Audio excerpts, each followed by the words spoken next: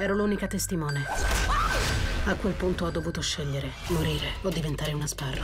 E ho visto chi sono quelli per cui lavoro. Io non gli assomiglio. Non ti lasceranno mai andare. Troverò il modo. Red Sparrow, da marzo al cinema.